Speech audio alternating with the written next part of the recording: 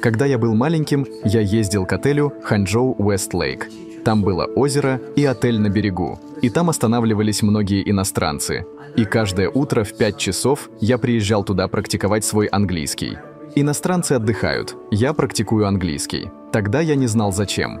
Но то, что я слышал от иностранцев, настолько отличалось от того, что говорили мои родители, мои учителя и от того, что я читал в газетах.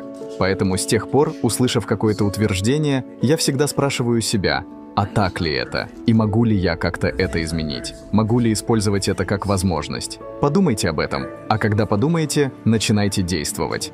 Я видел множество молодых людей с внезапными фантастическими идеями. Но утром они просыпались и вновь отправлялись на работу в офис. Делайте шаг, действуйте, потому что завтра будет уже новый день. И вот еще один совет, который я хочу вам дать. Да, вам придется очень тяжело трудиться.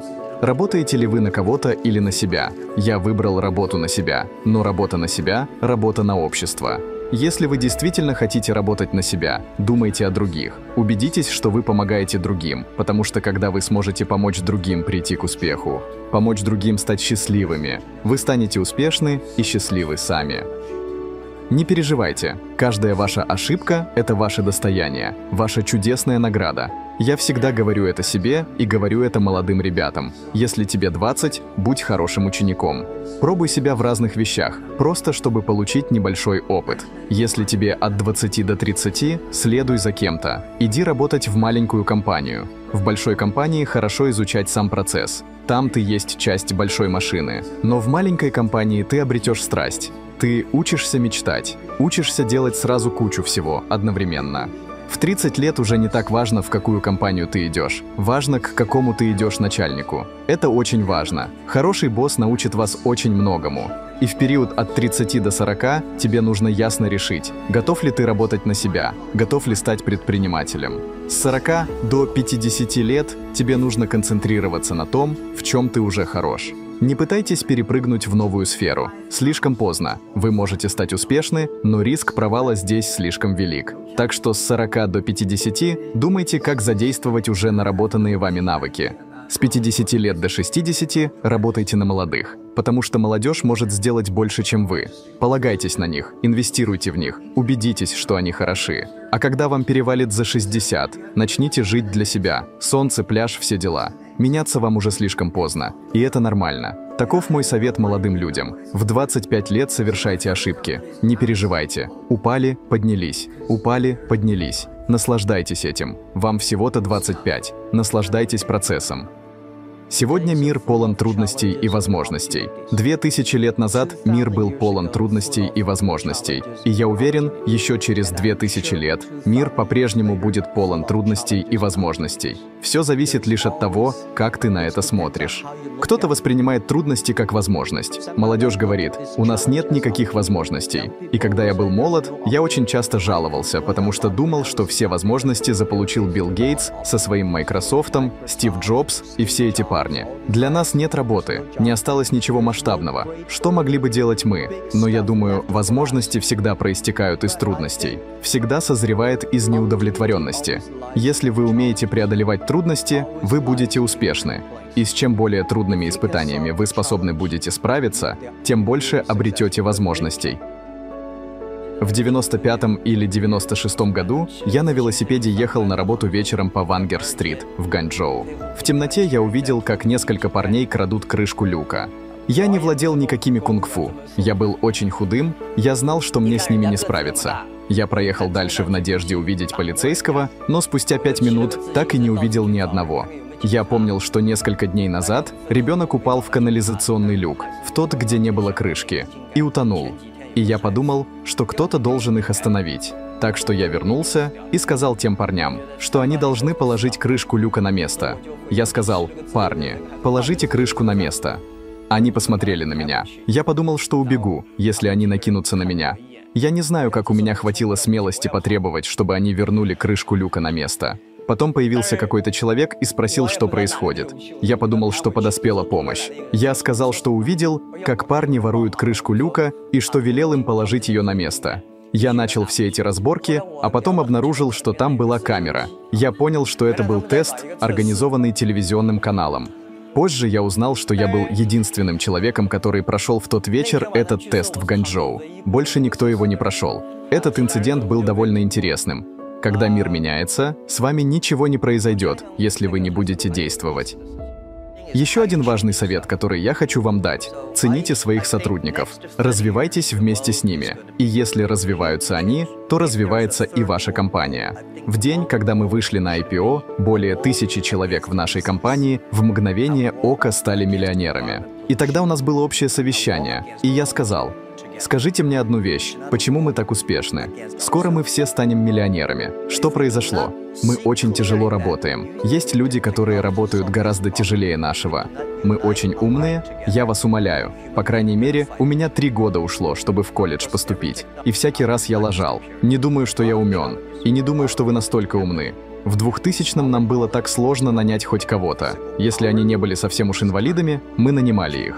Ходить можешь, ты нам подходишь. Потому что никто не верил в интернет. Никто не верил, что рынок электронной коммерции приживется в Китае. Никто не верил, что интернет возможен. И эти ребята шли к нам, потому что у них не было альтернативы. А затем пришли люди со степенью MBA, с огромным послужным списком, которых мечтали переманить другие компании, которые в итоге уходили, начинали свой бизнес. Сегодня все они прогорели. Наших же парней никто нанимать не стремился. И о собственном бизнесе они никогда не задумывались. Так что они остались в нашей компании, и спустя пять лет мы стали успешны. Как? Мы держимся за наши мечты. Мы верим в них. Неважно, насколько глобальна ваша мечта. Делайте маленькие крошечные шаги вперед и развивайтесь. Растите вместе с компанией. И моя главная ошибка была, когда в 2001 я сказал нашим 18 основателям, вы, ребята, будете руководителями каждой своей группы, а всех топ-менеджеров мы привлечем со стороны. Прошло 10 лет, и все замечательные профессионалы, которых я привлек со стороны, ушли. А все мои помощники, о которых я и думать не думал, как о суперталантливых руководителях, стали нашими топами. И они потрясающие, потому что они верили, что смогут. И я хочу сказать каждому из вас, заботьтесь о своих сотрудниках. Это главное для вас, люди. У них есть семьи, у них есть мечты.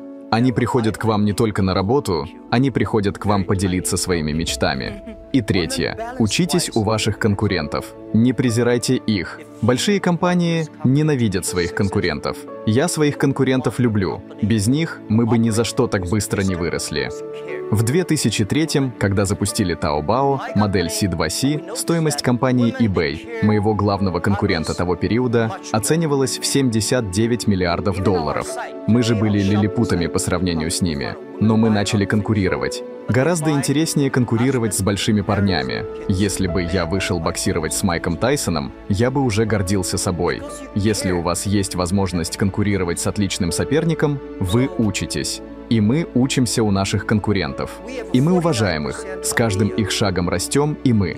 Запомните, конкуренция – лучшая для вас лаборатория, потому что каждая их инновация становится новым уроком для вас. Но не копируйте их, учитесь у них. Так что я люблю своих конкурентов, и всякий раз, когда я смотрю на них, я ими восхищаюсь. Когда я работал подрядчиком в Министерстве внешней торговли, где получал зарплату в 4000 юаней, мы основали компанию с суммой в 50 тысяч юаней, и на что бы мы ни тратили наши деньги, это мог оказаться наш последний шанс. Все мои конкуренты были гораздо сильнее меня. И позднее я понял, что у многих предпринимателей ничего не получилось не потому, что у них не было денег, а потому, что у них их было много. Потому что когда ты пытаешься решить проблемы с помощью денег, вот тут-то как раз и начинаются твои проблемы. Я считаю, что деньги не могут решить всех проблем. Деньги являются важным тактическим средством в решении проблем. Так что, когда кто-то говорит «у меня есть деньги, я могу это сделать», то это начало его падения. Думаю, что у Алибабы есть один из самых больших в Китае, может быть и в мире резервов наличности среди интернет-компаний. Это всегда было культурой нашей компании. Я надеюсь, что мы всегда будем об этом помнить. Я говорил об этом раньше. Активы компании подобны вооруженным силам страны. Их нельзя использовать в полсилы. Но всякий раз, когда вам нужно их мобилизовать, вы должны побеждать. Деньги нельзя тратить бездумно. И нельзя думать, что только деньгами можно решить все проблемы. Джек, скажите, кто был вашим кумиром? Мои кумиры. Да, моя мечта родилась 14 лет назад, когда я приехал в Америку в Кремниевую долину. Я слышал все эти звуки, видел дороги, заполненные машинами, видел небоскребы, огни. Так во мне зародилась страсть. А мой кумир — это Форест Гамп. Вы же в курсе, что он вымышленный персонаж. Мне очень нравится этот парень. Я пересматривал этот фильм 10 раз, и каждый раз, когда я расстроен, я смотрю этот фильм. И перед тем, как приехать сюда, я снова посмотрел его. Я говорю о поездке в Нью-Йорк. Я пересматриваю этот фильм и каждый раз убеждаюсь, что неважно, что с тобой происходит, ты всегда должен оставаться собой. И спустя годы я все тот же.